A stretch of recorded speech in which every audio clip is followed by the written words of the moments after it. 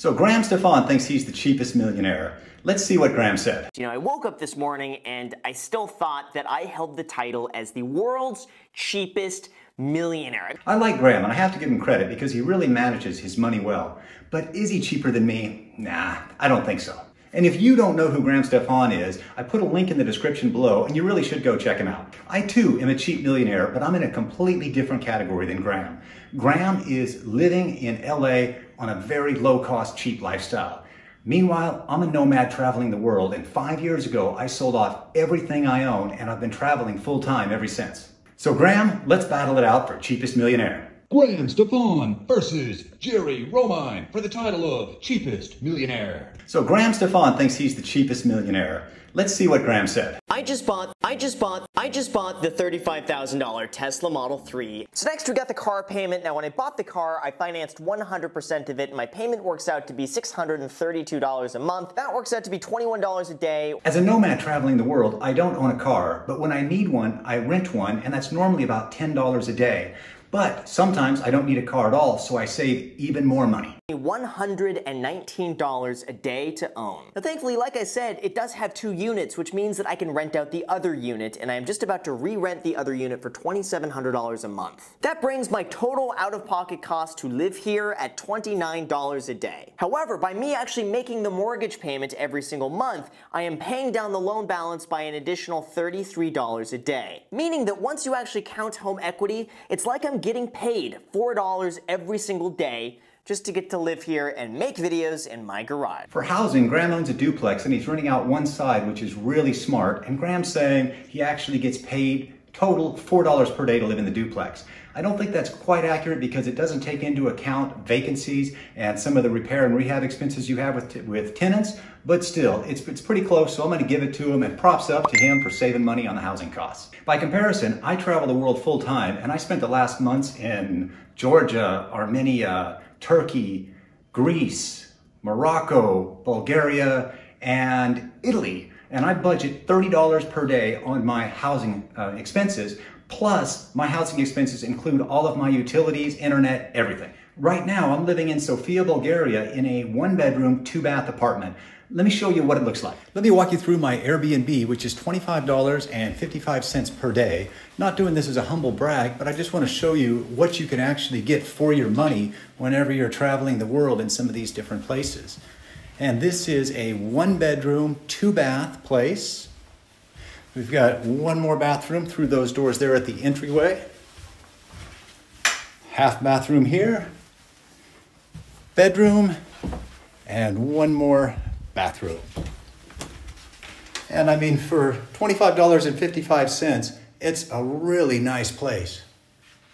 Everything I own fits in the one large suitcase, the carry on luggage, and the backpack. Now, sure, Graham's got some really cool stuff with a dinosaur head, but I can't have those sort of luxuries because they simply won't fit in my gear.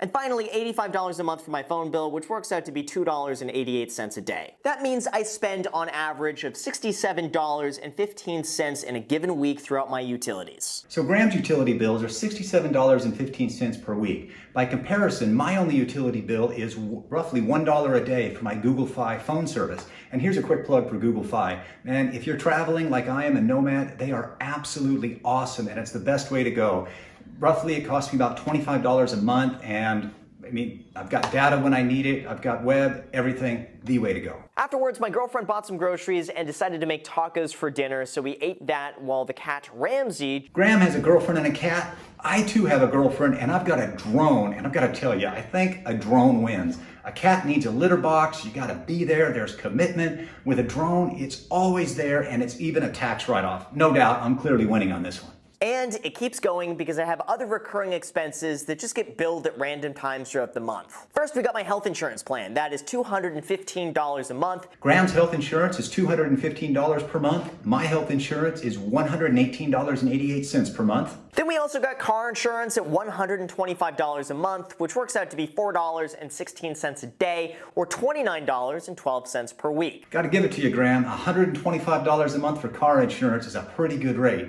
My car insurance is free. That's because when I rent cars, it's covered with my Chase credit card. And then we got my gym membership at $220 a month. I get it, it's expensive. I pay for convenience because it's literally right next door to my office. But that comes at a cost of $7.33 a day, which works out to be $51.31 per week. Graham, $220 a month for insurance? Come on, bro. LA Fitness, 30 bucks a month. That's $190 savings. Now I get it that it's close and it's convenient and maybe it's worth it whenever you take into account the time and the value of your time to get there. But seriously, 30 bucks a month, huge savings.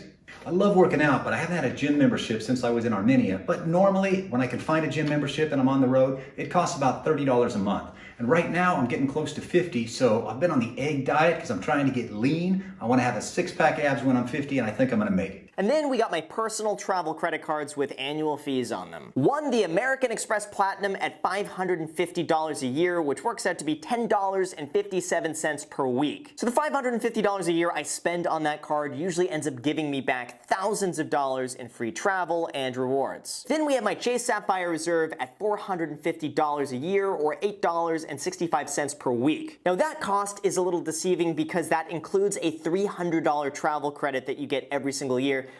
plus Priority Pass lounge access that's worth another $95 a year. And lastly, we have the infamous $10 million credit card, the JP Morgan Reserve, which is another $450 a year or $8.65 per week. Now this one is pretty much identical to the Chase Sapphire Reserve. I get the same $300 travel credit, I get the same Priority Pass lounge access worth $95, and in addition to that, I get United Club access. So the annual fee essentially pays for itself, but again, we're gonna be counting this as an expense just for purposes of this video. So that leaves us in total with $27.87 per week in credit card annual fees. My only credit card fee is the Chase Business Ink., which is $95 a year, which works out to $1.83 per week. My actual normal weekly expenses is more like $475.27 for everything I mentioned, everything recurring behind the scenes, and everything I typically spend money on. And that is more in line with what I normally spend in a week as a 29 year old living here in Los Angeles, California. Graham's total weekly expenses are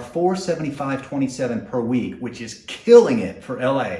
Props off to you. By comparison, my weekly expenses for Sofia, Bulgaria are 411.50 and my girlfriend helps chip in on some of those costs. So that's 411.50 for two people. Sofia, Bulgaria has been one of our lower costs of living. So in fairness, let's take a look at some of the other places that I've lived and what it cost for two people to live. When we traveled South America on a motorcycle for five months, our total cost was $81.50 per day. And those costs even included a broken leg for my girlfriend. Now, a funny little side story. She ends up breaking her leg, and the entire cost of the broken leg, the surgery, everything was covered with a $30 SOAT um, insurance that we bought at the border in Peru. That's got to be the best $30 I've ever spent on insurance. We spent one month in Sicily, Italy, $78.74 per day, two people. One month in Crete, Greece, $77.94 per day. One month on the beautiful island of Madeira, Portugal was only $58.01 per day, and that even included a canyoning trip. Had a blast. We spent 12 days in Morocco, and that was a blast, $71.65, and that included luxury camping in the desert, the Blue City. All in all, man, Morocco, another great time. But I think that no matter how you slice the numbers, Graham and I are living much less expensively than most people expect millionaires to live. Go ahead and take a look at my expenses for Sofia, Bulgaria. All of the expenses are right there for you. And the final numbers are in. Graham Stephan versus Jerry Romine. Who won cheapest millionaire? You decide by casting your vote below.